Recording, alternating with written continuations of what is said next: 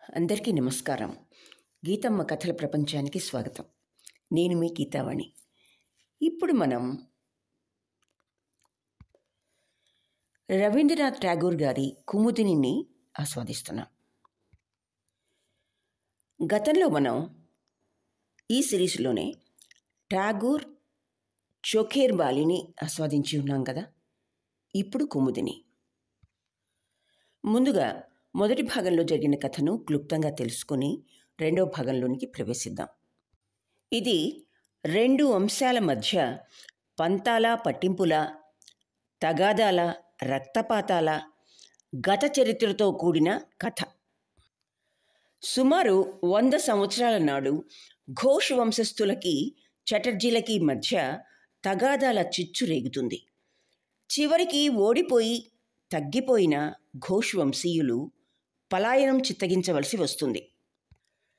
చితికిపోయిన ఘోష్ వంశీయులు మధుసూదన్ ఘోష్ సమర్థతతో చక్కగా నిలదొక్కుని మహాసంపన్నులవుతారు.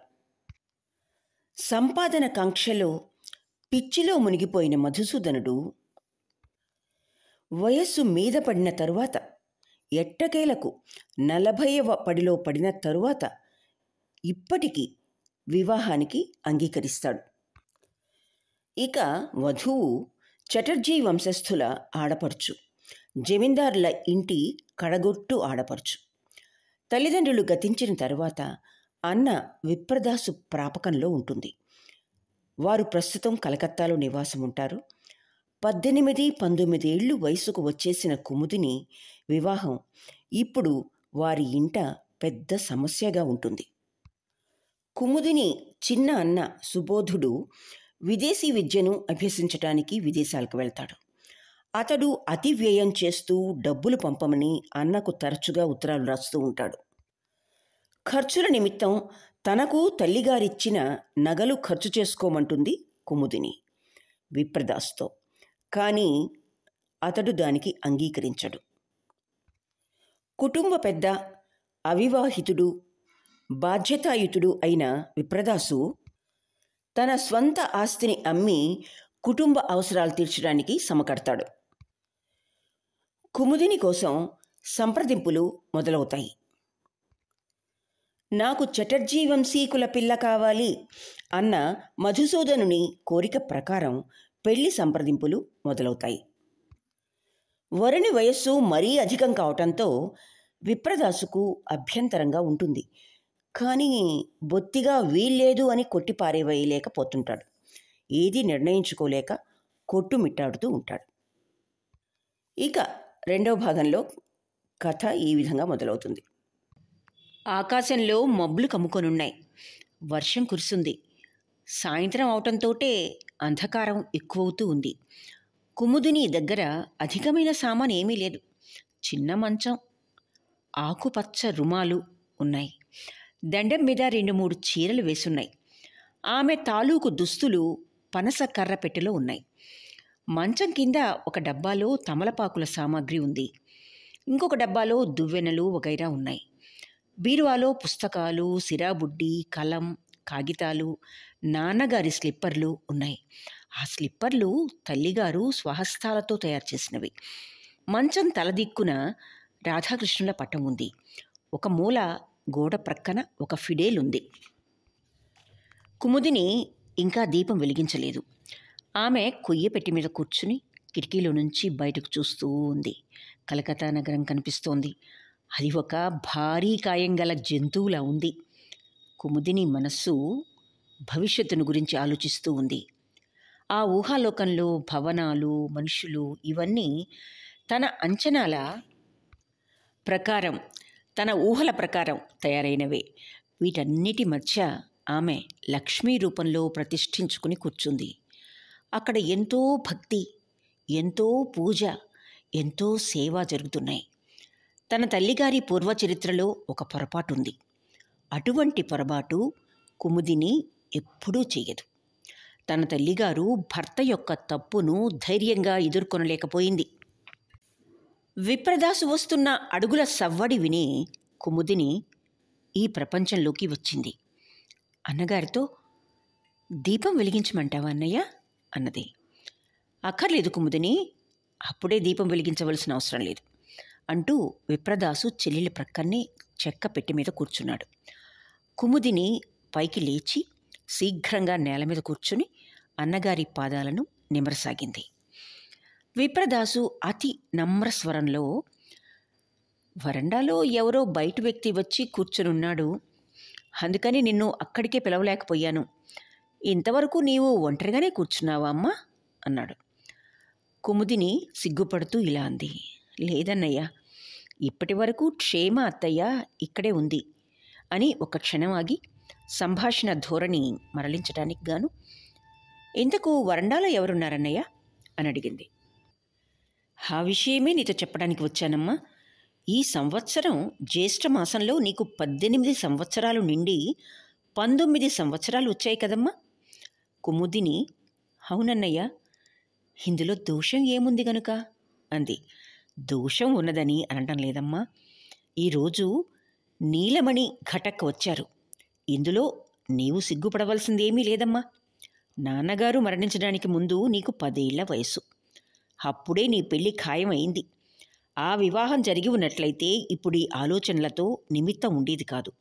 కానీ ప్రస్తుతం నేను ఆ పని చెయ్యలేను. రాజా మధుసూదన ఘోషాల్ పేరు నీవు వినే ఉంటావనుకుంటాను. వారు మంచి వంశీయులు కులీనులు. అయితే వయసులో మటుకు వారికి నీకు చాలా అంతరం ఉంది. నాకే ఈ విషయంలో సమాధానం పడటానికి ఇష్టం చాలకుండా ఉంది. అయినా నీ నోటి మీదుగా కూడా సమాధానం విందామని కుతూహలంగా ఉంది. సిగ్గుపడకుండా నీ అభిప్రాయం చెప్పమ్మా. లేదన్నయ్య సిగ్గుపట్టం లేదు. అని కుముదిని కొంత తడవు మౌనంగా ఉండిపోయింది. తరువాత ఆలోచించుకుని ఇలా అంది. నీవు ఎవరి విషయమైతే చెప్తున్నావో వారితో నా సంబంధం నిర్ణయం అయిపోయినట్టేగా? ఇలా అన్నది కుముదిని. ఇది ఘటక్ రాజు మాటలకు ప్రతిరూపం మటుకే. అయితే ఈ మాటలు ఆమె హృదయ ఫలకంలో ఎప్పుడు పీఠం వేసుకుని కూర్చున్నాయో మటుకు తెలియదు. విప్రదాసు చాలా ఆశ్చర్యపడ్డాడు. ఏమిటి కుమ్ము? ఎలా స్థిరపడిపోయిందంటావు? అని అడిగాడు. కుమ్ముదిని మాట్లాడకుండా కూర్చుంది. విప్రదాసు కుముదిని తలపై చేత్తో నిమురుతూ బాల్య చేష్టలు చేయకు కుమ్ము అన్నాడు. కుముదిని నీకు తెలియదన్నయ్యా కానీ నేను బాల్య చేష్టలు మటుకు చేయటం లేదు అన్నది. విప్రదాస్ అంటే ఆమెకెంతో ప్రేమ ఉంది ఆయన్ను దైవంగా కూడా భావించుతుంది. అన్నగారి ఆలోచన దృష్టిలో ఎక్కడ లోపం ఉందో ఆమెకు బాగా తెలుసు. విప్రదాసు ఇంకా ఆయన్ను నేను చూడనైనా లేదు అన్నాడు. అయితేనే నేను మటుకు బాగా ఎరుగుదును. ఈ విషయంలో అన్నా చెల్లెళ్ళ మతాలలో అత్యంత భేదం ఉంది. ఈ విషయం కూడా విప్రదాస్కు బాగా తెలుసు. కుముదుని హృదయంలో ఈ అంధకారమయమైన భాగంపై దీనిపై అన్నగారికి ఎటువంటి అధికారమున్నూ లేదు. అయినప్పటికీ విప్రదాస్ తిరిగి ఇలా చెప్పాడు. చూడు కుముదిని యావత్ జీవితానికి సంబంధించిన విషయాన్ని శీఘ్రతాపూర్వకమైన కాల్పనిక ప్రతిజ్ఞా రూపంలో నిర్ణయించుకోకూడదు. కుముదిని విహ్వలురాలై బదులు చెప్పింది. కల్పన కాదన్నయ్యా ఇక్కడ కల్పన చేయడానికి అవకాశమూ లేదు. నేను నీ పాదాలు పట్టుకొని చెప్తున్నాను. నేను వారిని తప్ప అన్యులను వివాహం చేసుకోలేను. విప్రదాసు నిర్ఘాంతపోయాడు. ఒక పని ఉచితమా అనుచితమా అనే మీమాంస లేని చోట తర్కం ఎలా పని చేయగలదు? విప్రదాసు తెలుసుకున్నది ఏమిటంటే ఏదో ఆంతరంగికమైన ప్రేరణ. కుముద హృదయంపై అధికార ముద్ర వేసిందని. ఈ మాట నిజం కూడాను. ఈరోజు ప్రాతకాలం దేవుని పేరు మీద ధ్యానం చేస్తూ కుముదిని మనస్సులో ఇలా అనుకుంది. ఈరోజు దేవునికి పుష్పార్చన చేసేటప్పుడు ప్రతి తడవ రెండు పుష్పాలు చొప్పున గుణించి వేస్తాను. ఇలా వేయగా ఆఖరుకు మిగిలే పుష్పం దేవుని వలె నీలవర్ణమైనదైతే నా అభీష్టమే దేవుని అభీష్టం కూడా అని అనుకుంటాను. ఆమె అలాగే చేసింది. చివరికి మిగిలిన పుష్పం నీల అపరాజిత కోయల్. దగ్గరలో ఏదో ఇంట్లో సాయం సమయ హారతి ఇస్తున్న గంట మ్రోగుతూ వినిపించింది. కుముదిని చేతులు రెండు జోడించి ప్రణామం చేసింది. విప్రదాసు కొంత తడవు అలాగే కూర్చుండిపోయాడు. మెరుపులు విరివిగా మెరుస్తూనే ఉన్నాయి. కుంభ వృష్టి కురుస్తూనే ఉంది. విప్రదాసు ఆ తర్వాత కూడా అనేక పర్యాయాలు విషయాలు తెలియజెప్పడానికి ప్రయత్నాలు చేస్తూనే ఉన్నాడు. అయితే చెల్లెలు ఏ విధమైన జవాబు చెప్పకుండా పమిట కొంగు మెలిపెడుతూ కూర్చునేది. వివాహం స్థిరపడిపోయింది. ఒక విషయంలో మటుకు ఇంకా ఇరుపక్షాల వారికి మాటలు నడుస్తున్నాయి. అదేమిటంటే వివాహం ఎక్కడ జరిపించాలి అన్నది. విప్రదాసుకు వివాహం కలకత్తాలోనే జరిపించాలని ఇచ్చ ఉంది. అయితే మధుసూదన్ మటుకు తన వివాహం నూర్ నగర్లోనే జరిగి తీరాలని పట్టుబట్టాడు. చివరికి పిల్లవాని తరఫు మాటకే విలువ దక్కింది. వివాహపు ఏర్పాట్లు జరిపించడానికి గాను కొన్ని రోజులు ముందుగానే నూర్ నగర్ వెళ్ళవలసి వచ్చింది. ప్రతి సంవత్సరం జ్యేష్ఠ వైశాఖ మాసాలలో ఎక్కువగా ఎండలు కాస్తాయి. తరువాత ఆషాఢంలో వర్షాలు కురుస్తాయి. అలాగే మానవ జీవితంలో కూడా తటస్థపడుతూ ఉంటుందేమో. కుముదుని యొక్క ఆంతరంగిక బాహ్య జీవనములపై ఒక కొత్త తేజం వ్యాపించసాగింది. తాను తన భర్తను కలుసుకొనబోతున్నాననే ఊహ ఆమెను పులకింపజేస్తోంది. ఆమె కన్నులలో సరికొత్త కాంతి ప్రవేశించింది. అయితే ఆమెది మూగ భాష ఈ భాషలోనే ఆమె తన అంతరంగంతో సంభాషిస్తూ ఉంది. కుముదిని పడక గదికి యువతలుగా ఉన్న వరండాలో కూర్చుని వడ్ల గింజలు కింద చల్లుతూ ఉంటుంది. పక్షులు వచ్చి వాటిని ముక్కుతో అందుకుని పోతూ ఉండేవి. అలాగే జంతుజాలాన్ని పక్షిగణాన్ని ఆకర్షించడానికి ఆమె అనేక రకాలుగా వ్యవహరిస్తూ ఉండేది. అవి రావటం వెళ్తూ ఉండడం చూచి కుముదిని ఆనంద పరవశురాలవుతూ ఉండేది. ఆమె హృదయం ఇప్పుడు సంసార సుఖం కోసం తాపత్రయపడుతూ ఉంది. సాయంకాలం స్నానం చేసేటప్పుడు ఆమె ఇంటి వెనుక ఉన్న చెరువులో గొంతు వరకు కూర్చుని ఉండిపోయేది. తటాకంలోని నీరు తన ఉనికినంతటినీ అవయవాలుగా చేసుకుని ఆమెతో సంభాషిస్తున్నట్లు ఉండేది. సాయంకాలపు సూర్యుని శోభ వాతావరణంలో వచ్చే సహజమైన సుందరమైన మార్పు ఆమెను మరింత శోభాయమానంగా కనిపింపజేస్తూ ఉండేది. మధ్యాహ్న వేళల్లో ఆమె మేడ మీద చిన్న గదిలో కూర్చునుంటుంది. అప్పుడు కిటికీలో నుండి బయటి ప్రకృతి దృశ్యాల వంక ధ్యానపూర్వకంగా చూస్తూ ఉండేది. ఈ విధంగా ఆమె సమగ్ర శరీరం పైన ఒక ఆనందోల్లాసితమైన చైతన్యం ఏర్పడుతూ ఉంది. ఆమె జీవన మందిరంలో రాధాకృష్ణుల యుగళ రూప మాధుర్యాలు స్థావరించుకున్నాయి. ఆమె మెల్లిగా ఫిడేల్ బయటికి తీసి మంద్రస్వరంతో అన్నగారు నేర్పిన భూపాలి రాగ కీర్తన స్వరయుక్తంగా వాయిస్తూ ఉండేది. హజమోర్ ఘరణమై హయల్ పియరావా రోము రోమ్ హర్ఖిలా. కుముదిని రాత్రిపూట మంచం మీదనే కూర్చుని ప్రణామం చేస్తూ ఉండేది. ప్రాతకాలం కూడా అలాగే ప్రణామాలు చేస్తూ ఉండేది. ఆమె ప్రణామం ఎలా చేస్తోందో ఎవరికి చేస్తోందో అడగడానికి వీల్లేదు. అది విరవలంబ. భక్తి చేత ఏర్పడిన ఒక ఉచ్ఛ్వాసమే గాని మరింకేమీ కాదు. అయితే కాల్పనికమైన ప్రతిమ యొక్క మందిరం ఎప్పుడూ ద్వారబంధాలు బిగించబడే ఉంటుందని మనం అనుకోవడానికి వీల్లేదు. ప్రతిమ యొక్క సౌందర్యానికి విఘాతం కలిగించే కృత్యం జరిగినప్పుడు దేవతారూపం అలాగే నిలిచి ఉండదు కదా? ఇటువంటి పరిస్థితి ఏర్పడిందంటే ఇది భక్తులైన వారికి దుఃఖ సమయం అని చెప్పవలసి ఉంటుంది. ఒకరోజు కుముదుని సమక్షంలోని ఒక వృద్ధ స్త్రీ ఇలా అంది. నా చిన్నారి కుముదమ్మ గారికి ఇంకేం లోటు? ఘనమైన రాజుగారు దొరికారు. హరే! హరే! రిజప్పూర్ రజప్పూర్ గుమస్తా. ఆనందబాబు జాడ తెలీదా నాకు? ఆయన విషయం తెలీదా నాకు? భారీ కుమారుడేగా? ఈ మధుబాబు? ఒకప్పుడు దేశంలో కాటకం వచ్చినప్పుడు ఆయన ఎక్కడి నుంచో బియ్యం తెప్పించి విపరీతమైన లాభానికి విక్రయించాడు. ఆ డబ్బే ఇప్పటి వరకు అనుభవిస్తూ ఉన్నారు.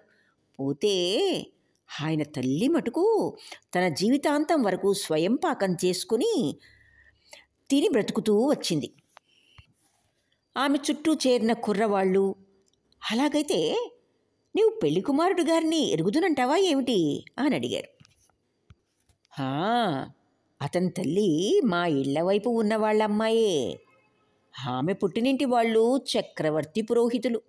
నిజమాడితే ఎటువంటి దోషం లేదు. శ్రోత్రియులైన బ్రాహ్మణ కుటుంబాల్లోని వారెవ్వరూ వారితో సంబంధ బాంధవ్యాలు కలుపుకోరు. కానీ సిరి సంపదలు వరించాయంటే కులగోత్రాల విషయం ఎవరికీ పట్టింపుకు రాదుగా? ఇలాంటి మాటలు కుముదిని చివిన పడుతూ ఉండేవి.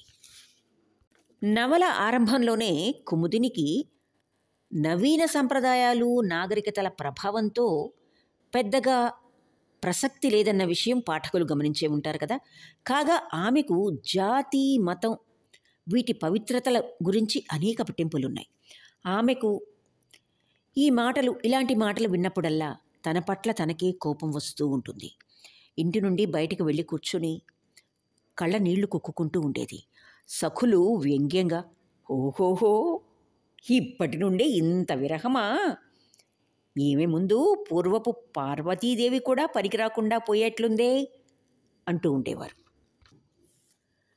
విప్రదాసు హృదయంపై నవీన యుగ ప్రభావం అయితే ఉంది. అయినా జాతిహీనత అనే విషయంపై అతని మనసు కొంత అధికారానికి లొంగుతుంది. అందువల్ల వరుణి గురించి అతని కుటుంబాన్ని గురించి అపవాదుల్ని అణిచివేయటానికి తగినంత కృషి చేశాడు. కానీ చిరిగిన చాపను చిరిగిన చాపను సరిచేయటానికి ప్రయత్నించినందువల్ల ఎంత ప్రయోజనం ఉంటుందో ఇందువల్ల కూడా అంతే. చిరుగు మరింత పెద్దదయ్యింది. పూర్వకాలం నుంచి అనూచానంగా వస్తూ ఉన్న రైతు కుటుంబానికి చెందినవాడు దామోదర విశ్వాస్. ఇతని ద్వారా ఈ విషయమై తెలియవచ్చే విషయం ఏమిటంటే మొదట నూర్నగర్ దగ్గరి సియాకులి గ్రామంలో ఘోష్ కుటుంబీకుల జమీందారీ ఉండేది. ఇప్పుడది చటర్జీ వంశీయుల అధీనంలో ఉంది. ఈ జమీందారీ దేవతా విగ్రహాలను పగులుగొట్టించిన దుర్మార్గానికి ఫలితంగా ఘోషుల వంశం వినాశనమైంది. ఏదో విధంగా ప్రయత్నం చేసి చటర్జీలలోని పెద్దలు వారిని ఆ దేశం నుండి బయటకు వెళ్ళిపోయేటట్లు చేశారు. ఈ కథను చెబుతూ ఉన్నప్పుడు దామోదరుని ముఖం ఆనందంతో వెలిగిపోతూ ఉంది. ఘోష్ పరివారం ఒక సమయంలో ధనం విషయంలో కానీ కులం విషయంలో కానీ ప్రతిష్ట విషయంలో కానీ చటర్జీలకు సరి సమానమైన ఫాయాలోనే ఉంటూ ఉండేవారు.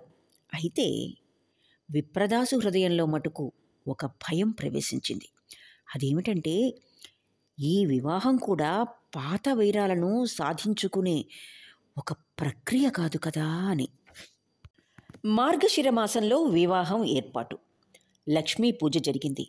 దాని తర్వాత రెండు మూడు రోజులకు ఘోష్ కంపెనీకి చెందిన ఇంజనీరింగ్ శాఖ ఓయిస్ ఓవర్సీయర్లు డేరాలు తదితర అవసర సామగ్రి తీసుకుని వచ్చారు. వారి వెంట పనివాళ్ళ గుంపు కూడా ఒకటి ఉంది వీరిలా రావడానికి కారణం ఏమిటి? తెలియవచ్చింది ఏమిటంటే సియాకులిలో ఘోష్ తటాకం ఒడ్డున డేరాలు వేసుకుని పెళ్ళి కుమారుడు అతడి తరఫు బంధువులు వివాహం రోజుకు కొన్ని రోజులు ముందుగానే అక్కడికి వచ్చి విడిది చేస్తారని. ఇది ఎంత విచిత్రమైన మాట? విప్రదాసు ఇలా అన్నాడు. వారు ఎన్ని వందల మంది రాదలుచుకున్నారో అందరూ రావచ్చు. ఎన్ని రోజులు ఉండదలుచుకున్నారో అన్ని రోజులు ఉండొచ్చు. మేమందుకు అవసరమైన ఏర్పాట్లన్నీ చేస్తాం. కానీ ఈ డేరాలు వేయవలసిన ఆవశ్యకత ఏముంది? మాకు మరొక భవనం ఉంది కదా దాన్ని ఖాళీ చేసిస్తాము. ఓవర్సియర్ ఇలా అన్నాడు. ఇది రాజ్ బహదూర్ గారి ఆజ్ఞ. తటాకం నాలుగు వైపులా అడవిని శుభ్రంగా నరికి వెయ్యాలి అని. మీరు ఈ ప్రాంతం జమీందారులు అందుచేత మీ అనుమతి దయచేయించండి అన్నాడు. విప్రదాసు ఎర్రబడిన ముఖంతో ఇలా అన్నాడు. ఈ పని ఏమంత సవ్యంగా ఉంది? అడవిని మేం మటుకు కొట్టివేయలేమా ఏమిటి? ఓవర్సీయరు నమ్రభావం ఉట్టిపడుతూ ఇలా అన్నాడు. రాజబహద్దూర్ యొక్క పూర్వీకులు ఇక్కడ నివసించారట. అందుచేత వారికి దీన్ని తామే స్వయంగా కొట్టివేయించి నివాసయోగ్యం చేయాలనే కోరిక ఉదయించింది. ఇది మరీ అసంగతమైన విషయమైతే కాదు కానీ మనసులో మటుకు సందేహం పొడసూపుతూ ఉంది.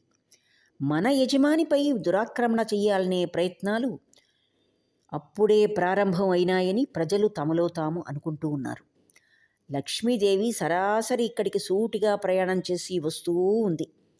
మోకాలు అడ్డినా ఆగేటట్లు లేదు. ఈ సంపద యొక్క రాగరంగములు ధూమ్ధాములు ప్రదర్శించుకోవటానికి ఇదొక నిమిత్తం. ఈ సమయంలోనే గనక చిన్నబాబు గారు ఇక్కడ ఉన్నట్లయితే ఆయన ఈ ఆగడాన్ని సహించి ఊరుకునేవారు కాదు. ప్రతిఘటించి ఉండేవారు అని కూడా ప్రజలు తలపోయసాగారు. వారిలో కొందరు విప్రదాస్ చెంతకొచ్చి ఇలా అన్నారు కూడా మీ పరువు ప్రతిష్టలను కాపాడటానికి మేము ఎంత మాత్రం వెనుదీయం.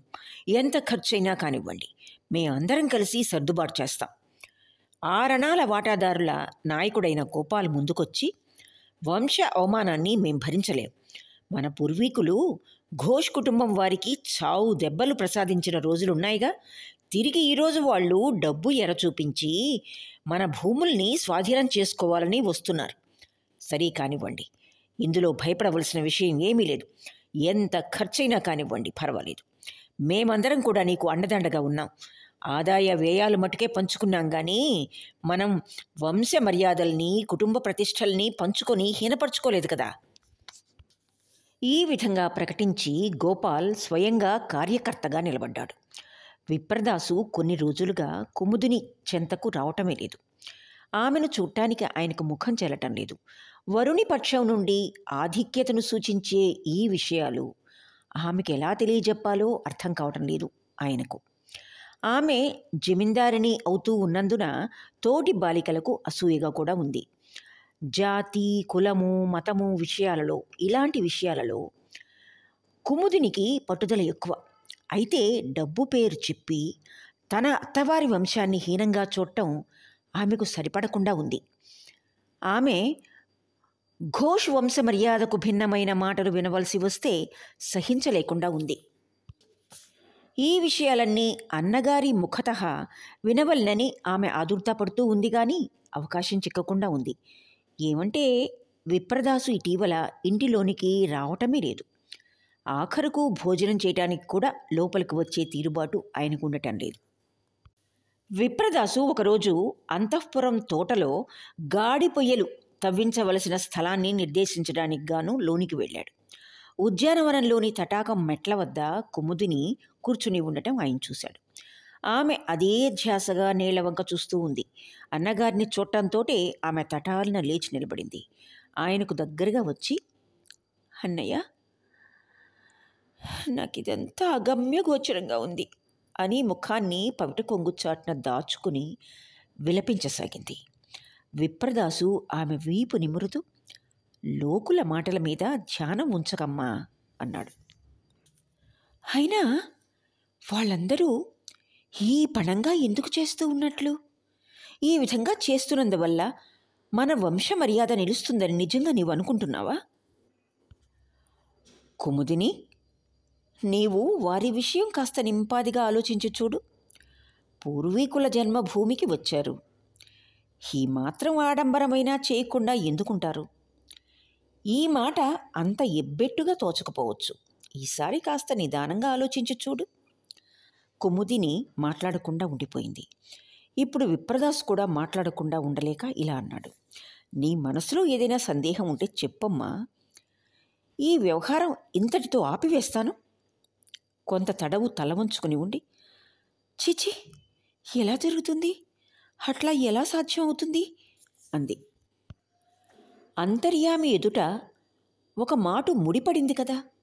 ఇరుపక్షాల వారి ఒడంబడిక మీదనే వివాహం ఆధారపడి ఉంటుంది. అది ఎంతో విలువైనది. అంతకంటే విలువైనది ఏదని అడిగితే చెప్పడం కష్టం.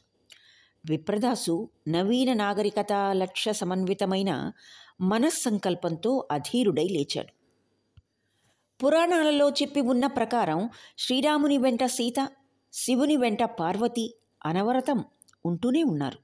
నేటి నవ నాగరికులలో సభ్యత సహృదయత కొరవడినాయి. ఎవరి స్వయం ప్రతిభను వారు చాటుకోవడానికి ప్రయత్నిస్తూ ఉంటారు. దీపం వెలిగించాలని వృధా ప్రయత్నం చేస్తూ ఉంటారే గాని అందుకు అవసరమైన నూనెను సేకరించుకోవాలనే ఇంగిత జ్ఞానం కూడా వారికి ఉండదు. ఈ విషయాలన్నీ కుముదినితో నచ్చ చెప్పటం వ్యర్థం. ఆమె మనసులో ఒకే ఒక నిర్ణయానికి వచ్చేసింది. మంచివారో చెడ్డవారు. వారు ఎలాంటి వారైనా కానీ నా జీవితం మటుకు వారితో ముడిపడిపోయింది. వారే నా జీవనాధారం. అవివాహిత జీవితానికే కాకుండా సతీత్వాన్ని నిరూపించుకునే జీవితానికి కూడా ఇదే సూత్రం. మధుసూదన నామధేయుడైన వ్యక్తిలో ఏవైనా దోషాలుండొచ్చు. అయినా తన పతిదేవుడనే వ్యక్తిత్వం యొక్క ఉద్భావం ఎదుట కుముదిని ఏకాగ్ర చిత్తంతో ప్రణామం చేస్తూ ఉంది. ఘోష్ తటాకం ఇప్పుడు ఎంతగా మారిపోయిందంటే దాన్ని గుర్తించటానికి వీలు చిక్కకుండా ఉంది. అడవినంతా నరికివేశారు భూమి సమతలంగా తయారైంది. అక్కడక్కడ ఎర్రని రహదారులు ఏర్పడ్డాయి. ఈ రహదారులకు రెండు వైపులా దీపస్తంభాలు వేయించారు. చెరువులోని నాచును మలినాన్ని పూర్తిగా తొలగించారు. తీరంలో రెండు పడవలున్నాయి. వాటిపైన పేర్లు కూడా వ్రాశారు. ఒకటి మధుమణి రెండవది మధుకరి. రాజబహద్దూరు ఉండే డేరా వెలుపల మధుచక్ర అని నామకరణం చేశారు. ఈ డేరాల లోపలే అంతఃపురం ఏర్పాటు చేశారు. బల్ల మీద మధుసాగర్ అని వ్రాశారు. ఉద్యానవనం కూడా ఏర్పరచబడింది. కొంతమేర ఎన్నో రకాల పూల కుండీలు అమర్చబడినాయి. స్వదేశీవే కాదు విదేశీ పుష్పాల ప్రదర్శన కూడా ప్రదర్శనం కూడా ఏర్పరిచారు. ఆ ప్రదేశమంతా శోభాయమానంగా వెలిగిపోతోంది. మధ్య ఒక చిన్న కొలను వంటిది కూడా ఏర్పాటు చేశారు. కొలను వెనుక వివస్త్ర అయిన స్త్రీ విగ్రహం ఉంది. ఈ స్త్రీ విగ్రహం నోటిలో శంఖువు అమర్చారు. ఆ శంఖంలో నుంచి జలధారలు బయటకు వస్తూ ఉంటాయి.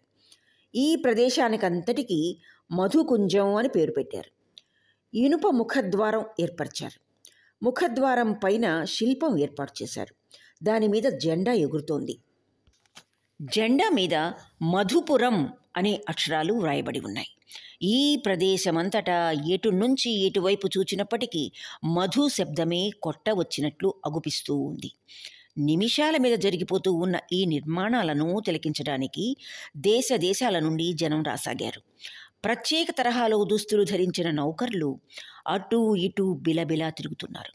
సాయంత్రం అయ్యేసరికి సాయంత్రం అయ్యేసరికి ఆకాశంలోనికి తుపాకులు పేలుస్తారు.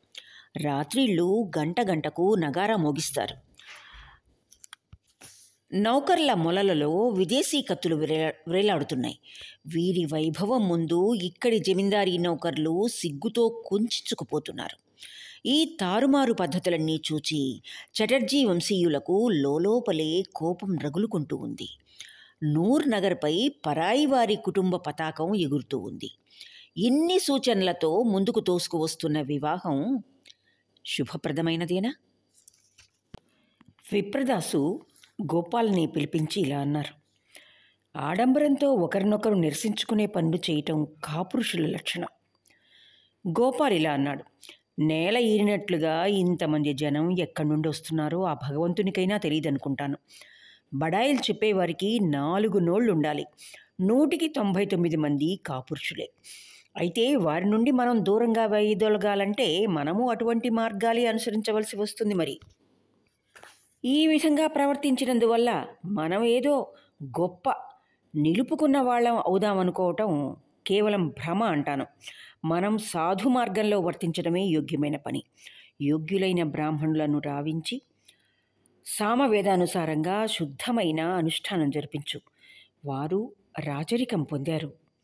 ఆడంబరాలు చేయటం వారికే చెల్లుతుంది. మనం బ్రాహ్మణులం. అది మన పని మట్టుకు కాదు. గోపాల్ ఇలా అన్నాడు. అన్నగారు పొరబడుతున్నారు. ఇది సత్యయుగం కాదు. మీరు పంకిలంలో పడవ నడపాలని ప్రయత్నిస్తున్నారు. మీకింతమంది ప్రజ ఉన్నారు. మీరు సర్కార్లు. మీ దగ్గర ఎందరో పనివాళ్ళు ఉద్యోగస్తులు ఉన్నారు. వీరందరూ యాజ్ఞవల్క్య సం సంతానం. వీరందరి గుండెలు బ్రద్దలైపోతున్నాయి. మీరు మాట్లాడకుండా ఊరుకోండి. మీరు ఈషన్ మాత్రమైనా ఆలోచించవలసిన ఆవశ్యకత లేదు. గోపాల్ ప్రజల్లో కలిసిపోయి నడుం బిగించి కార్యరంగంలోకి దిగాడు. అందరూ ముందుకొచ్చి డబ్బు కోసం విచారించడం ఎందుకు? అన్నారు. నౌకర్లు చాకర్లు సైనికులు ఇత్యాదులు చిన్నలు పెద్దలు పనివారు అందరూ ఎర్రని ఉన్ని దుస్తులు ధరించారు. రంగుల పంచెలు కట్టుకున్నారు. ఏడు క్రోసుల దూరానికి కూడా కనిపించే సింహద్వారాన్ని శిఖరాన్ని నిర్మించారు. ఇద్దరు వాటాదారులు కలిసి నాలుగు ఏనుగుల్ని బయలుదేరదీశారు. హంబారీలు అలంకారాలు సమకూర్చారు. ఏమీ పని లేకపోయినప్పటికీ ఈ ఏనుగులు తొండాలు ఊపుకుంటూ తటాకం ముందు అటు ఇటు తిరుగుతూ ఉండేవి. వాటి మెడలోని గంటలు గణగణ మురుగుతూ ఉండేవి. ఏది ఏమైనా జనపనార సంచుల్లో నుండి ఏనుగులు మాత్రం బయటికి రావులే అన్నారు ప్రజలు. అంతా నవ్వుకున్నారు హాస్యం చేసుకున్నారు. మార్గశిర మాసంలో శుద్ధ దశమి నాడు వివాహ ముహూర్తం. ఇప్పటికీ పది రోజుల మట్టుకే విరామం ఉంది. ఈ లోపలే రాజబహద్దూర్ వారు తమ పరివారంతో మిత్ర బృందంతో విచ్చేస్తున్నట్లు కబురు తెలిసింది. ఇక చేయవలసింది ఏమిటో అని విచారం ఆరంభమైంది. మధుసూదన్ విప్రదాస్కు ఏమీ కబురు పంపలేదు. సామాన్య ప్రజలతో ఎలాగైనా ఉండవచ్చును కానీ రాజులతో భద్రంగా మెలగాలి కదా. అయితే తాను స్టేషన్కి వెళ్ళి స్వాగతం చెప్పి వరుడిని తీసుకురావటం ఎలాగో విప్రదాస్కు అర్థం కాలేదు. తనకు కబురు చేయని వారిని ఆహ్వానించి తీసుకురావటమా? కబురు చేయని వారికి ఉచితమైన రీతిని బదులు చెప్పటం ఎలాగంటే ఆ కబురు తమకు తెలియనట్లు ప్రవర్తించటమే. ఇదంతా నిజమే. అయితే కేవలం తర్కించుకున్నందువల్ల ప్రపంచంలోని దుఃఖం నుండి విముక్తి దొరకదు. కుముదిని అంటే విప్రదాసుకు అత్యంత ప్రేమ. ఆమె హృదయానికి ఎక్కడ బాధ కలుగుతుందోననే ఉద్దేశంతో విప్రదాస్ ఏమీ ముందుకొచ్చి పని చేయలేకపోతున్నాడు. స్త్రీల హృదయాలు అతి తేలికగా కష్టపెట్టవచ్చు వాళ్ళని. స్త్రీల హృదయాలను అతి తేలికగా కష్టపెట్టవచ్చును. బలవంతుల చేతికే పెత్తనం కూడా చిక్కింది. బలహీనులకు సహాయం చేసేవాళ్ళంటూ ఎవ్వరుంటారు. ఇక ఈ దశలో స్నేహం యొక్క ధనాన్ని క్రోధ ద్వేషములని ఈర్ష్యల తుఫానుల నుండి పరిరక్షించుకోవటం అభిమానాన్ని దక్కించుకోవటానికి ప్రయత్నం చేయటం అసాధ్యం కదా? విప్రదాసు మనోభావాలు ఇలా ఉన్నాయి. ఎవరి సలహాలు తీసుకోకుండానే గుర్రం ఎక్కి స్టేషన్కి వెళ్ళాడు. ఐదు గంటల వేళ రైలు వచ్చింది రాజా సాహెబ్ తమ పరివారంతో రైలు దిగారు. ఆయన విప్రదాసును కలుసుకున్నప్పుడు వ్యంగ్య ధోరణిలో హోహో ఎందుకు ఇంత శ్రమ మీకు? అన్నారు. విప్రదాసు ఇలా అన్నాడు. మంచి మాటే అన్నారు. మీరు తొలిసారిగా మా దేశానికి వస్తున్నారు కదా మీకు స్వాగతం చెప్పి తీసుకురావటం నాకు ధర్మం కదూ? మీరు పొరబడుతున్నారు. నేను ఇప్పుడు మీ దేశానికి రాలేదు. వివాహం నాడే మీ దేశానికి రావటం జరుగుతుంది. విప్రదాసు ఈ మాటల్లోని అంతరార్థం గ్రహించలేకపోయినాడు. స్టేషన్లో వాదోపవాదాలు పడటం ఉచితమైన పని కాదు కదా? అందుచేత ఇలా మట్టుకు అని ఊరుకున్నాడు. రేవులో పడవ తయారుగానే ఉంది. రాజాసాహెబ్ ఇలా అన్నాడు.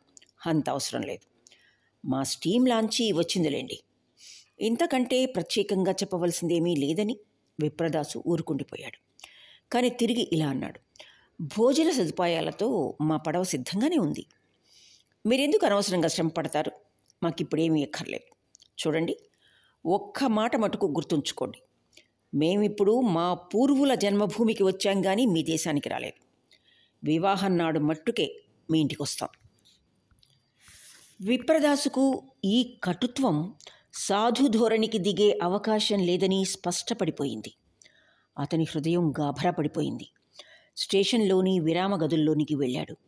చాలాసేపు అక్కడే కూర్చుండిపోయాడు. చివరికి ఇంటికి చేరుకునేసరికి బాగా చీకటి పడిపోయింది.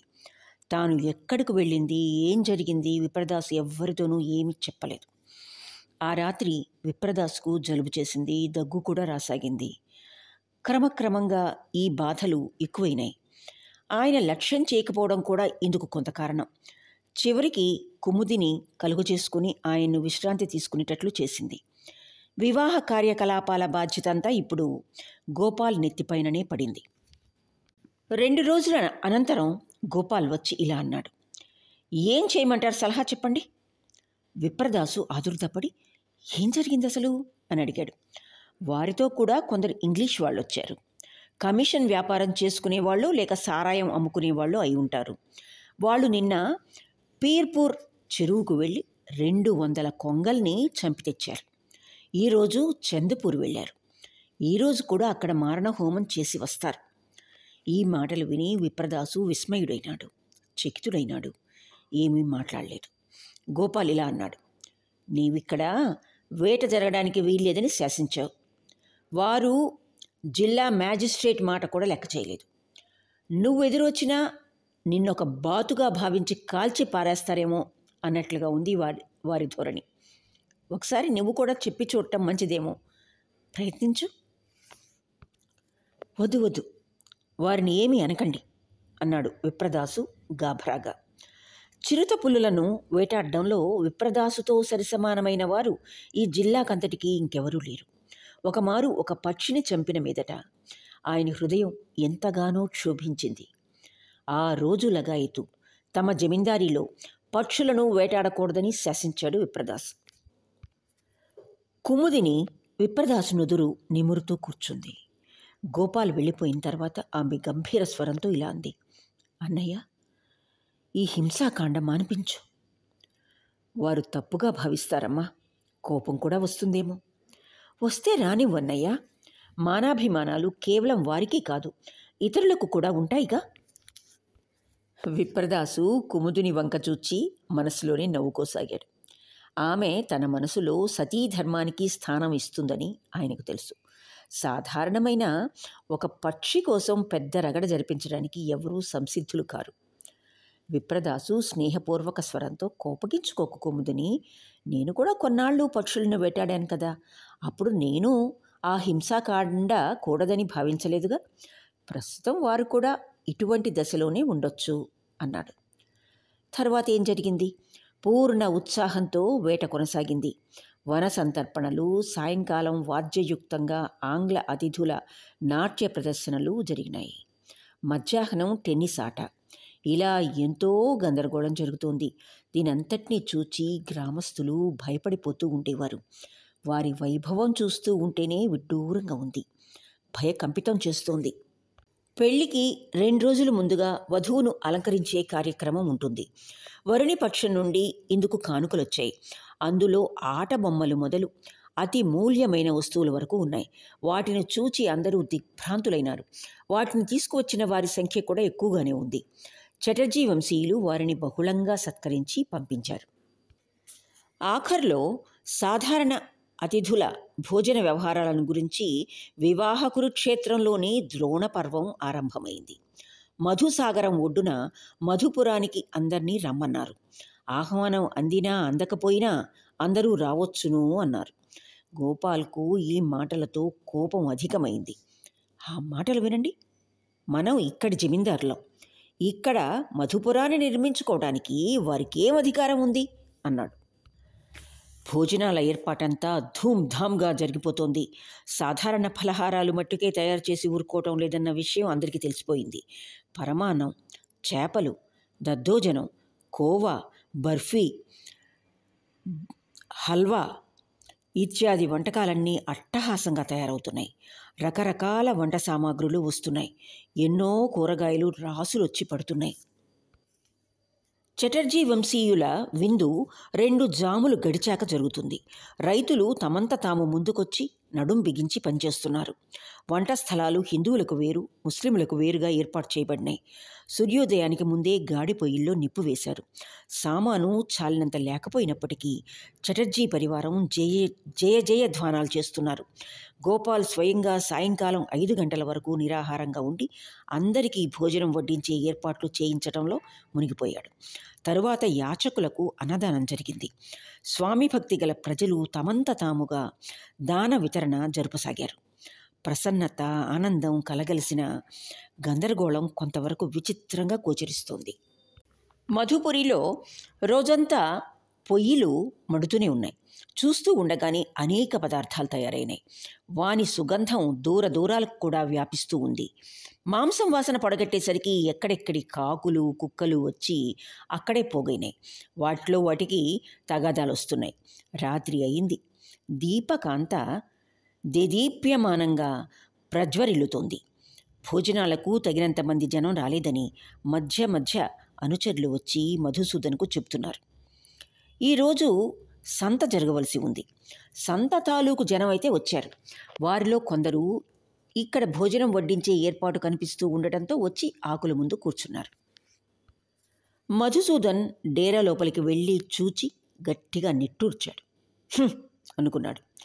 ఆయన తమ్ముడు రాధు వచ్చి అన్నయ్య ఇక చాలండి.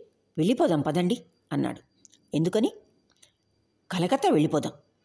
ఇక్కడి వాళ్ళందరూ బద్మాషుల్లాగా వ్యవహరిస్తున్నారు. వీరికంటే గొప్ప ఇంటి పిల్లలు లేకపోలేదు. మీరు ఊ అంటే చాలు వారంతా వచ్చి పడతారు అన్నాడు. మధుసూదన్ గర్జించి ఛీ అవతలకు వెళ్ళు అన్నాడు.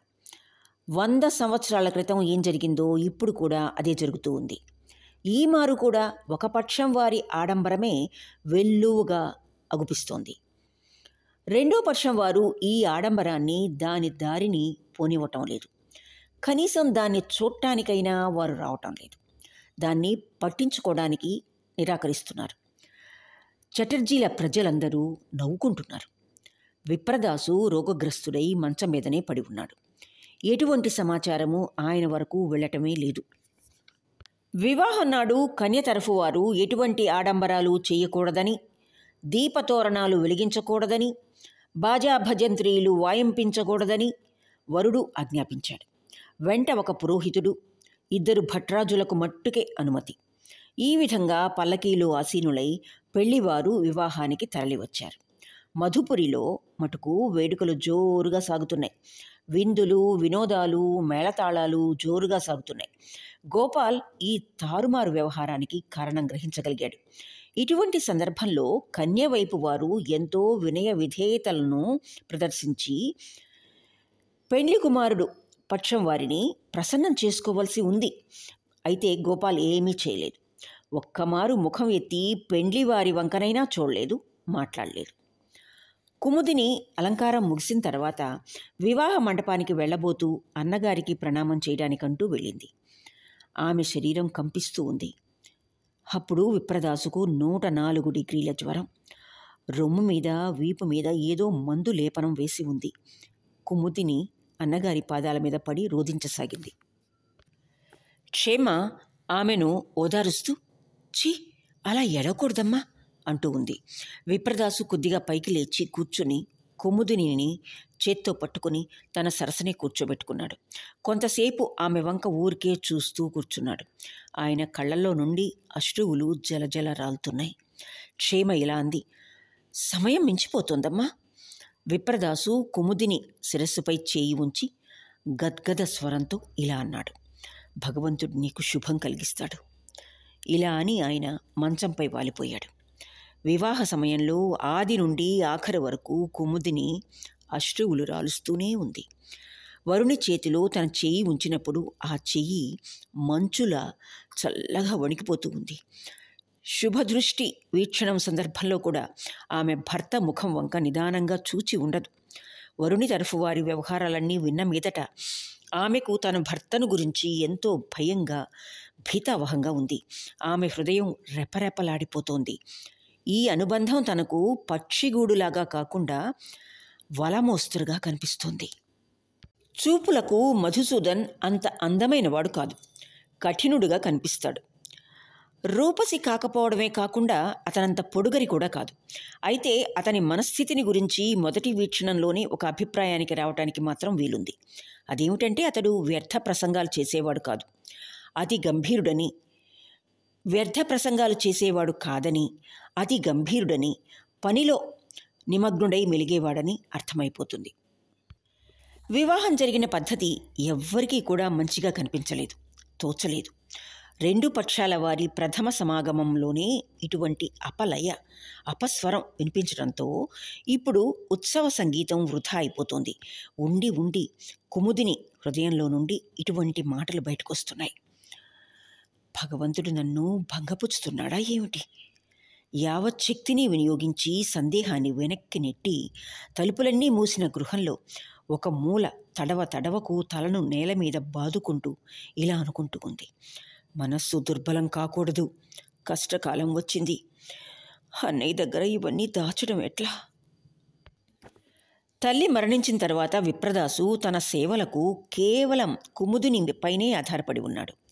బట్టలు తదితర ఖర్చు కోసం కొంత డబ్బు పుస్తకాల అలమర గుర్రాల దాణా తుపాకీని శుభ్రంగా ఉంచడం కుక్కల పోషణ పని మనుషుల అజమాయిషి గది శుభ్రత వీటన్నిటికీ కుముదినిపైనే ఆధారపడవలసి ఉంది.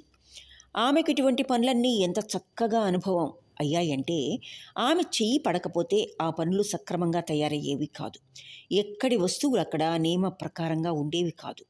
విప్రదాసు అనారోగ్యంలో ఆమె ఎంతగానో సేవ చేస్తూ ఉండేది. తన మాటల్లో గాని చేతల్లో గాని తన విచారం అన్నగారు పసిగట్టకూడదని ఆమె ఎంతగానో ప్రయత్నిస్తూ ఉండేది. కుముదినికి సంగీత వాద్యంలో ఉన్న ప్రావీణ్యం విప్రదాస్కు గర్వకారణం. సాధారణంగా ఆమె వాద్యం దగ్గర కూర్చోవటానికి అంగీకరించేది కాదు. ఒకవేళ కూర్చున్నదంటే మాల్కౌన్స్ రాగాలాపన చేసి విప్రదాసును పులకింపజేస్తూ ఉండేది. ఆ రాగంలోనే ఆమెకు దేవతాస్తవం ఉంది. ఆ ప్రార్థనలోనే అనునయం అశంక ఉంటాయి. విప్రదాసు అరమోర్పు కళ్ళతో ఫలానా రాగాలు వాయించమంటూ పురమాయిస్తూ ఉంటాడు. భైరవి సింధు భైరవి విహాగ్ ఇలా ఆజ్ఞలిస్తూ ఉంటాడు. ఏ స్వరాలలో అయితే బాధ బాగా పలుకుతుందో ఆ స్వరాల్లో అన్నా చెల్లెళ్ళిద్దరికీ ఏకాభిప్రాయం ఏర్పడుతూ ఉంటుంది. కరుణరసం కూడా. ఇద్దరిలో ఎవ్వరూ నోరు విప్పి మాట్లాడరు. ఒకరి ఓదార్పు ఒకరికి లేదు. ఒకరి బాధను మరొకరికి విప్పి చెప్పుకోరు. విప్రదాసు జ్వరం అనారోగ్యం ఏమాత్రం తగ్గకపోగా క్రమంగా ఎక్కువ అవుతున్నాయి కూడా. డాక్టర్ ఇలా అంటున్నారు. ఇది ఇన్ఫ్లుయెంజా. అయితే క్రమంగా న్యూమోనియాలోకి దింపవచ్చు కూడా. ఎంతో నిదానంగా మందు ఇస్తూ ఉండాలి. కుముదిని యొక్క దుఃఖానికి ఉద్వేగానికి హద్దులు లేవు. ఒక పగలు ఒక రాత్రి గడిచాయంటే ఆ తర్వాత తాను కలకత్తా వెళ్ళిపోతుంది. వివాహం జరిగిన రెండో రోజునే కుముదిని తనతో తీసుకువెళ్ళాలని మధుసూదన్ దృఢనిశ్చయుడై ఉన్నట్లు ఆమె విన్నది.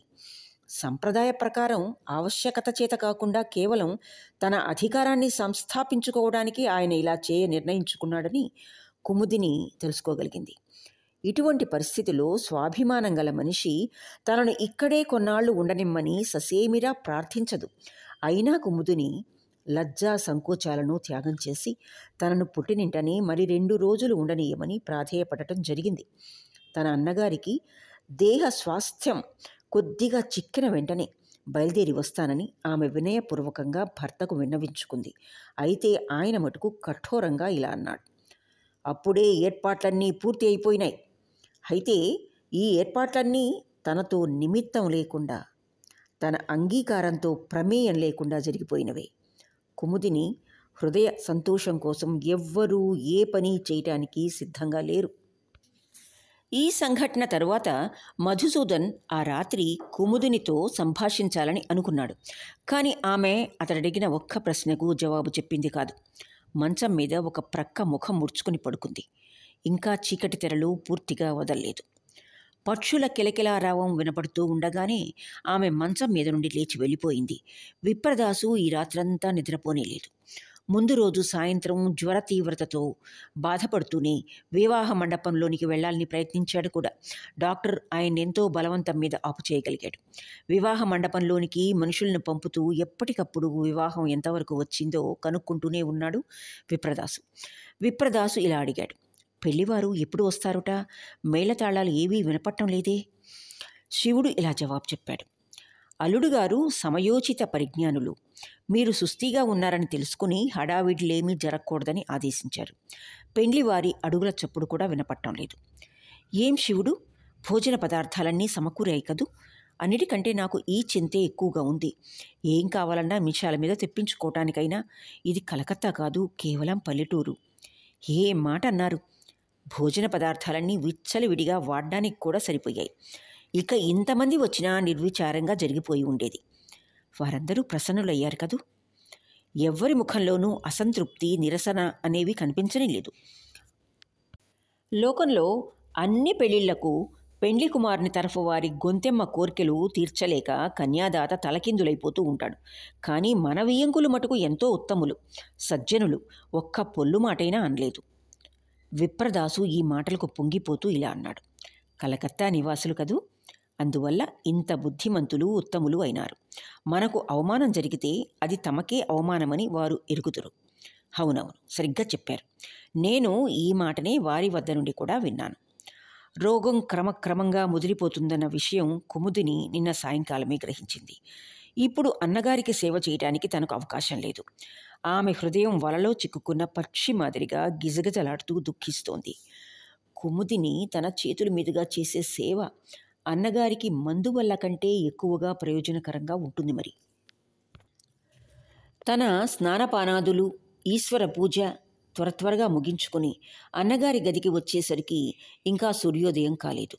కఠినమైన రోగంతో చాలా కాలం యుద్ధం చేసి ఆ పైన ఒక్క క్షణం విశ్రాంతి తీసుకునే విధంగా ఆ సమయంలో విప్రదాసు హృదయం వైరాగ్యంతో నిండిపోసాగింది. జీవితాసక్తి సంసార విచారాలు వీటిని గురించి ఆలోచించుకుంటే అంతా నిరామయంగా నిరుపయోగంగా అగుపించసాగింది. రాత్రంతా తలుపులు మూసుకునే ఉన్నాయి. డాక్టర్ వచ్చి తూర్పు వైపున ఉన్న కిటికీ రెక్కలు తెరిపించాడు. అరుణాకాశం ఇప్పుడప్పుడే రంగు మారుతోంది దూరంలో కనిపిస్తూ ఉన్న నదిలోని పడవల తాలూకు తెరచాపలు అరుణాకాశపు ఒడిలో సంతోషభరితమై ఆడుకుంటున్నాయి. కరుణస్వరంతో రామలీలా గానం వినవస్తోంది. మంచం వద్దకు వెళ్ళి కుముదిని తన చల్లని చేతులతో అన్నగారి శుష్కించిన వేడి చేతులను రెంటిని పైకెత్తి పట్టుకుని కూర్చుంది. విప్రదాసు కుక్క మంచం క్రింద చేరి ఉదాసీనంగా నిద్రపోతోంది.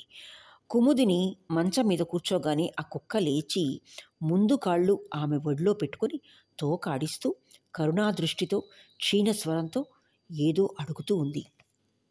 విప్రదాసు మనసులో భీకరమైన ఒక చింత ధారావాహికంగా స్రవిస్తోంది. అందుచేతనే చిన్న పెద్ద లేకుండా ఇలా మాట్లాడసాగాడు. అమ్మాయి వాస్తవానికి ఇదంతా ఏమీ లేదు. ఎవరు పెద్ద ఎవరు చిన్న ఎవరు ఉన్నతులు ఎవరు నీచులు? ఇదంతా గాలి మాట. బుద్భుతప్రాయమైన దాని స్థానం కోసం మనం వెనుకాడడం మటుకు ఎందుకు? దీనివల్ల ఏమీ ప్రయోజనం లేదు. నీ మట్టుకు నీవు మంచి నడవడితో సక్రమంగా వ్యవహరిస్తూ ఉండు. నన్ను ఆశీర్వదించు అన్నయ్య. ఆశీర్వదించు పంపు అంది కుముదిని. రెండు చేతులతోనూ ముఖాన్ని కప్పుకొని అడవసాగింది విప్రదాసు తలగడ సాయంతో కొంతసేపు లేచి కూర్చొని కుముదిని శిరస్సును తన వైపుకు లాక్కుని ఆమె నుదుటిపై చుంబించాడు. డాక్టరు సరాసరి గదిలోకి వస్తూనే ఇలా అన్నాడు. చెల్లి కుముదిని ఇక ఆపు చెయ్యి. వారిప్పుడు ప్రశాంతంగా ఉండాలి. మనసులో ఎటువంటి కలవరాలు ప్రవేశించకూడదు. కుముదిని రోగి పక్క సరిచేసింది. తలగడను యథాస్థానంలో ఉంచింది. దుప్పటి కప్పింది. ముక్కాలిపేట మీద వస్తువులన్నీ సరిచూసింది. తిరిగి అన్నగారి చెవి దగ్గర ముఖం పెట్టి కోమల స్వరంతో ఇలా అంది. నీకు నెమ్మదించడంతో తప్పకుండా కలకత్తారా అన్నయ్య? నేను అక్కడ నీకోసం ఎదురు చూస్తూ ఉంటాను. విప్రదాసు స్నేహపూర్వక దృష్టిని ఆమె పట్ల పరపి ఇలా అన్నాడు. కుముదిని ఇప్పుడు పడమటి దిక్కుగా ఉన్న మేఘాలు మరికొంతసేపటికి తూర్పు దిశకొస్తాయి. సంసారంలో ఇటువంటి గాలి ఎప్పుడూ వీస్తూనే ఉంటుంది. మేఘాల మాదిరే మనుషులు కూడా అటు ఇటు సంచరిస్తూ ఉంటారు. ఇవాటి నుంచి నీవు మమ్మల్ని గురించి ఎక్కువగా విచారించనక్కర్లేదమ్మా. నువ్వు ఎక్కడికి వెళితే అక్కడల్లా నీకు లక్ష్మీపీఠం ఏర్పడుతుంది. ఇదే నా ఆశీర్వాదం తల్లి. నీ నుంచి మాకు ఇంతకంటే ఇంకేమీ అక్కర్లేదమ్మా. విప్రదాసు పాదాల దగ్గర తల చేర్చి కుముదిని చాలాసేపు కూర్చుండిపోయింది. నాకు ఇప్పుడు కానీ మరొకప్పుడు కానీ ఇంకేమీ అక్కర్లేదు. ఇక్కడి జీవితంలో ఇక నుంచి నా చేయి పాలు పంచుకోదు అనుకుంది. ఇటువంటి విచ్ఛేదకరమైన ఆలోచనతో ఆమె ఒక్క క్షణంలోనే రాజీ పడలేకపోయింది. తుఫాను ఎప్పుడైతే నావను తీరం నుండి లాక్కుపోవడానికి ప్రయత్నిస్తుందో అప్పుడే లంగరు మట్టిని ఆశ్రయించుకుని ఉండి పడవ తీరాన్ని దాటి వెళ్ళకుండా అట్టే ఉంచుతుంది. అలాగే కుముదిని హృదయం అన్నగారి పాదాల దగ్గరే నియుక్తం అయి ఉండాలని వాంఛిస్తోంది. డాక్టర్ వచ్చి మళ్ళీ ఇలా అన్నాడు. ఇక చాలే మా చెల్లి ఇలా అని ఆయన తన సజ్జల నేత్రాలను తుడుచుకున్నాడు. కుముదిని గదిలో నుంచి బయటకొచ్చి వరండాలో ఉన్న బల్ల మీద ఆసీనరాలై చీర కొంగుతో ముఖం కప్పుకొని రోధించసాగింది. ఉన్నట్టుండి ఆమెకు తన అన్నగారి గుర్రం స్ఫురణకు వచ్చింది. తన చేతితో దాణ ఉంచి తన దారిని తాను వెళ్ళిపోతుంది. ఇందుకనే ఆమె రాత్రి తీపి వేసిన రొట్టెలు తయారు చేసింది. కాపలా మనిషి గుర్రాన్ని ఈరోజు ఉదయమే ఇంటి వెనుక ఉన్న తోటలో వదిలొచ్చాడు. కుముదిని అక్కడికి వెళ్ళింది. గుర్రం మామిడి చెట్టు కింద తిరుగాడుతూ ఉంది. కుముదిని వస్తూ ఉన్న అడుగుల చప్పుడు వింటంతోటే గుర్రం చెవులు రెక్కించి పైకి చూసింది. కుముదిని దాని మెడ మీద చేయి వేసి నిమిరి దాని చేత రొట్టెలు తినిపించసాగింది. గుర్రం సంతోషంగా సకిలిస్తోంది. నీళ్ళు పెట్టడం కూడా అయిన తర్వాత కుముదిని గుర్రాన్ని ముద్దు పెట్టుకుంది.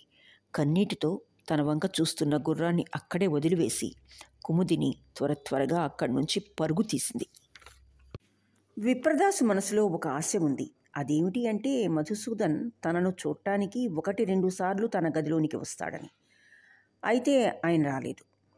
తమ రెండు కుటుంబాల మధ్య ఈ వివాహం ఒక విచ్ఛేదాన్ని మటుకే నిర్మాణం చేయగలిగిందని విప్రదాసు ఆ క్షణంలో గ్రహించగలిగాడు. ఆయన డాక్టర్ను పిలిచి ఇలా అడిగాడు. కొద్దిసేపు సంగీత వాద్యంతో గడపవచ్చునా? డాక్టరు ఈరోజు కొద్దిరండి అన్నాడు. అయితే కుముదిని పిలవండి. ఆమె వాయిస్తుంది వింటాను. ఈ సమయంలో కాకపోతే ముందు ముందు ఆమె వాయిద్యం వినటానికి ఇక నాకు అవకాశం ఉంటుందో లేదో అన్నాడు విప్రదాస్. డాక్టర్ ఇలా అన్నాడు. ఈరోజు ఉదయం తొమ్మిది గంటలకే వారికందరికీ వీడ్కోలు ఇవ్వవలసి ఉంది. లేకపోతే వారు సూర్యాస్తమయానికి ముందుగా కలకత్తా నగరం చేరుకోలేరు. అటువంటి సందర్భంలో ఇప్పుడు కుముదిని పిలవటానికి విరామం ఎక్కడుంది? విప్రదాసు నిట్టూర్పు విడుస్తూ ఇలా అన్నాడు. అవును ఇక అవకాశం లేదు. ఎంత మాత్రం లేదు నిజమే. ఈ ఇంటిలో ఆమె పద్దెనిమిది సంవత్సరాల పైగా గడిపింది. కానీ ఇప్పుడిక ఒక గంట సేపైనా ఉండటానికి వీల్లేదు. వీడ్కోల్ సమయంలో నూతన దంపతులు విప్రదాస్కు ప్రణామం చేయటానికి వచ్చారు మధుసూదన్ వినమ్రంగా మీ ఆరోగ్యం నిజంగానే పాడైపోతూ ఉందే? అన్నాడు. విప్రదాస్ ఏమీ జవాబు ఇవ్వలేక చివరికి భగవంతుడు మీకిద్దరికీ శుభం కలుగచేస్తాడు అన్నాడు. అన్నయ్య నీ శరీరాన్ని చాలా జాగ్రత్తగా కాపాడుకోవాలి అని కుముదుని తిరిగి అన్నగారి పాదాలపై శిరస్సు వాల్చి ఏడవసాగింది తరువాత చాలా ఆడంబర సహితంగా పెండ్లి వారికి ప్రయాణపు ఏర్పాట్లు చేయబడినాయి. వధూవరుల పమిట కొంగు ఉత్తరీయం ముడివేయబడి ఉండడం చూస్తూ ఉంటే విప్రదాసుకు బీభత్సం కలగసాగింది. ఇతిహాసాల్లో వ్రాసి ఉంది. తైమూర్ చెంగిజ్ ఖాన్లు అసంఖ్యాకమైన మానవ శరీరాలతో స్తంభాలు ఏర్పరిచారని. కానీ ఇవాళ ఈ చీరా ఉత్తరీయం బిగించబడి ముడివేయబడిన ధోరణి చూస్తూ ఉంటే జీవన మరణాల శిఖరాగ్రాలు కనిపిస్తున్నట్లు ఉన్నాయి. అయితే ఈరోజు విప్రదాసు హృదయంలో లోతుగా స్థావరించుకుని ఉన్న విచారం ఏమిటి? పూజార్చనలలో విప్రదాసుకు ఎప్పుడూ అంత ఉత్సాహం లేదు. అయినా ఈరోజు రెండు చేతులు జోడించి మనసులోనే ప్రార్థించసాగాడు. ఉన్నట్లుండి ప్రక్కనున్న డాక్టర్తో డాక్టర్ గారు దివాంజీని పిలిపించండి అన్నాడు. విప్రదాసుకు ఆకస్మికంగా ఒక మాట గుర్తుకొచ్చింది. వివాహానికి కొన్ని రోజుల ముందు ఎప్పుడైతే సుబోధుడు డబ్బు కావాలంటూ ఉత్తరం రాశాడో అప్పుడు తన హృదయం ఉద్విగ్నమైంది కాగితాలు తిరగవేస్తూ బాగా అలసిపోయాడు. ఆ సమయంలో చిరిగిన దుస్తులు ధరించిన ఒక వ్యక్తి ఆయన ముందు నిలబడున్నాడు. అప్పుడు పదకొండు గంటలైంది. విప్రదాస్ ఇంకా భోజనం చేయలేదు. ఎదురుగా నిలబడి ఉన్న మనిషి చిక్కి వడలి ఉన్నాడు. గడ్డం పెరిగుంది. ముఖం పాలిపోయి ఉంది. కాళ్ళు చేతులలో ఎముకలు మట్టుకే కనిపిస్తున్నాయి. పైని చర్మం వ్రేలాడుతూ ఉంది. భుజం పైన చిరుగుల ఉత్తరీయం వేసుకున్నాడు. చిన్న ధోతి కట్టుకున్నాడు. చేతులు జోడించి నమస్కారం చేసి నన్ను గుర్తుపట్టారా పెదబాబు గారు? అని అడిగాడు. విప్రదాసు కొంత తడవుగా ఆలోచించి చివరకు హరే వైకుంఠ్ నువ్వు ఇక్కడ ఎలా ఉన్నావు? అన్నాడు విస్మయంతో. విప్రదాసు బాల్యంలో చదువుకుంటూ ఉండిన పాఠశాలకు సమీపంలోనే వైకుంఠునికి ఒక దుకాణం ఉంది. అక్కడ వైకుంఠుడు పుస్తకాలు పెన్సిళ్ళు కళాలు కాగితాలు చాకులు బ్లేడ్లు బంతులు ఇటువంటి చిల్లర వస్తువులు అమ్ముతూ ఉండేవాడు. అతని దుకాణం దగ్గర చాలామంది కుర్రవాళ్ళు పోగవుతూ ఉండేవాళ్ళు. అందరినీ నవ్వించడానికి ఎన్ని అద్భుతాలు చేయడానికి వీలుందో అన్నీ చేస్తూ ఉండేవాడు వైకుంఠ్. విప్రదాస్ ఈ కథ అంతా గుర్తు తెచ్చుకొని అయితే నువ్వు ఈ దుర్దశకు దిగజారిపోవటానికి కారణం ఏమిటి అని అడిగాడు. చాలా సంవత్సరాల క్రితం వైకుంఠ్ తన కుమార్తెను సంపన్నుల కుటుంబంలో ఇచ్చి వివాహం జరిపించాడు. వరశుల్కం చాలా ఎక్కువ ఎనభై తులాల బంగారం పైన పన్నెండు వందల రొక్కం. తన కూతురును ప్రాణ సమానంగా చూసుకుంటూ పెంచుతూ వచ్చాడు. కనుక ఈ షరతులకు అంగీకరించి ముందుకొచ్చాడు. అయితే ఆర్థిక విసంపత్తి వల్ల ఈ డబ్బంతా ఒకే మారుచుకోలేకపోయాడు అందువల్ల అత్తింటి వారు అమ్మాయిని అనేక కష్టాలు పెట్టి తండ్రి రక్తాన్ని పీల్చుకున్నారు కూడా. కూడబెట్టిన ధనమంతా వ్యయమైపోయింది. అయినప్పటికీ ఇంకా రెండు వందలు ఇస్తే గాని వారి రుణం తీరదు. అమ్మాయి కూడా ఈ కష్ట పరంపరను అనుభవించి సహిస్తూ ఉండలేక విసుగెత్తిపోయింది. ఆమెకిప్పుడు ఇదంతా దుర్భరంగా తయారైంది. ఇంకేమీ తోచక తండ్రి ఇంటికి పారిపోయి వచ్చింది. దీనితో అమ్మాయి అపరాధం మరింత అయినట్లయింది. దీనికంతటికి వెలకట్టి డబ్బు చెల్లించి అమ్మాయి సంసారం చక్కబెట్టాలి. తరువాతనే వైకుంఠునికి చావటానికైనా తీరుబాటు. విప్రదాసు ఉదాసీనంగా నవ్వాడు. అతనికి ఏం సహాయం చేయగలనా అని చాలాసేపు ఆలోచించాడు. పెట్టె తీసి డబ్బు సంచి దులిపాడు. పది రూపాయల నోటు కింద పడింది. ఆ నోటు అతనికిస్తూ ఇంకా ఎక్కడైనా ప్రయత్నించుకో. ఇంతకంటే ప్రస్తుతం ఎక్కువ ఇవ్వగల స్థితిలో లేను నేను అన్నాడు.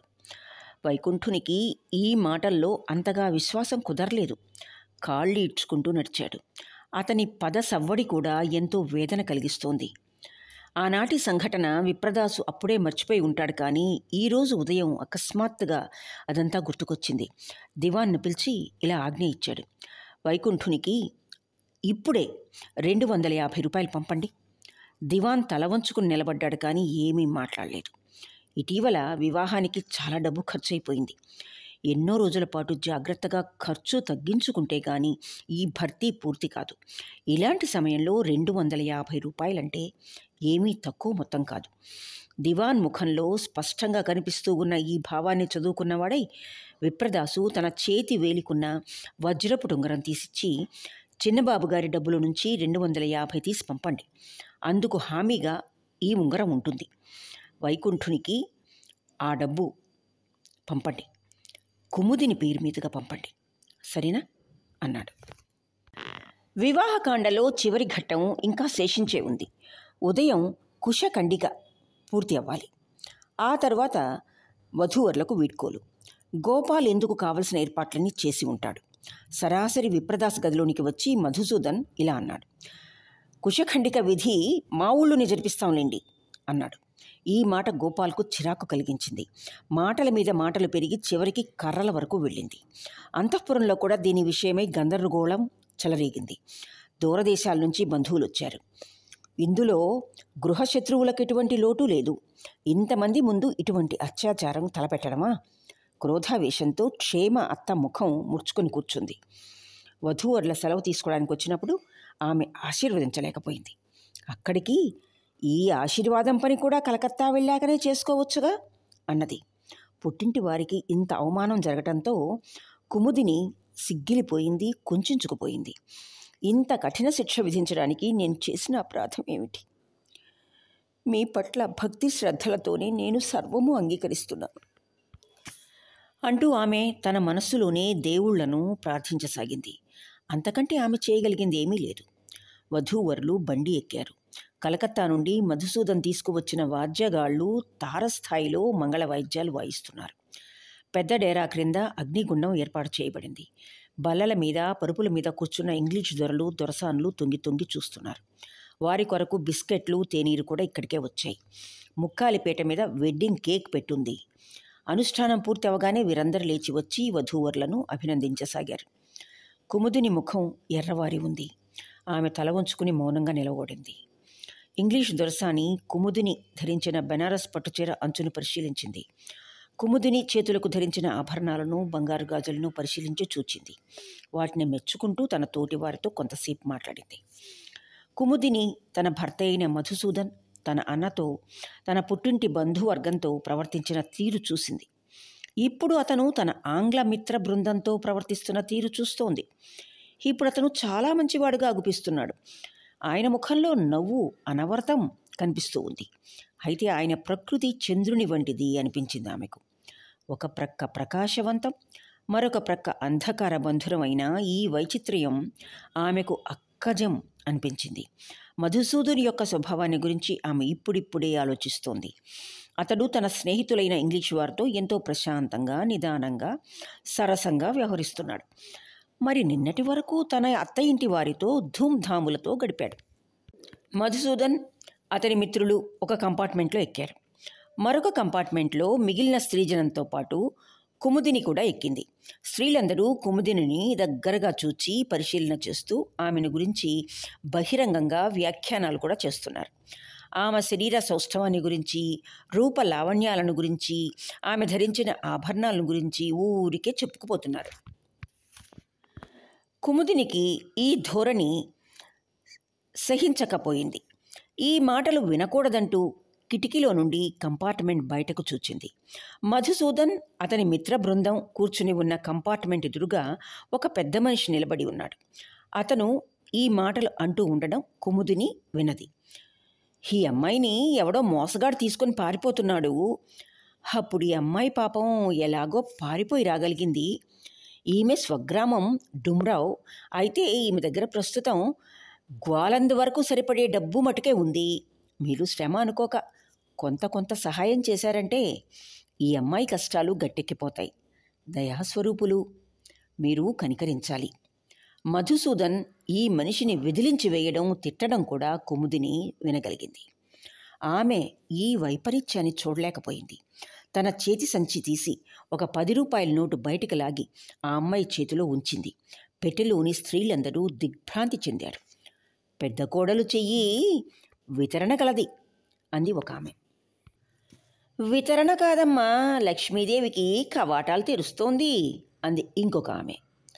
రూపాయలు ఖర్చు పెట్టడం తేలికే కానీ నిల్వ చేయడం నేర్చుకోవాలి అంది మూడో ఆమె. ఇక్కడితో రవీంద్రనాథ్ ఠాగూర్ గారి కుముదిని రెండవ భాగం పూర్తి అయింది. ఈ భాగంలోని కథ మీకు నచ్చినట్లయితే లైక్ చేయండి. మీ స్నేహితులకు సన్నిహితులకు షేర్ చేయండి. ఇప్పటి వరకు మీరు కనుక సబ్స్క్రైబ్ చేయకుంటే ఇప్పుడు సబ్స్క్రైబ్ చేసుకోండి. మీ మీ అభిప్రాయాలను సూచనలను తప్పకుండా తెలపండి. ఆలకించినందుకు ధన్యవాదాలు. ఇక్కడితో రవీంద్రనాథ్ ఠాగూర్ గారి కుముదిని రెండవ భాగం పూర్తి అయింది. ఆలకించినందుకు ధన్యవాదాలు.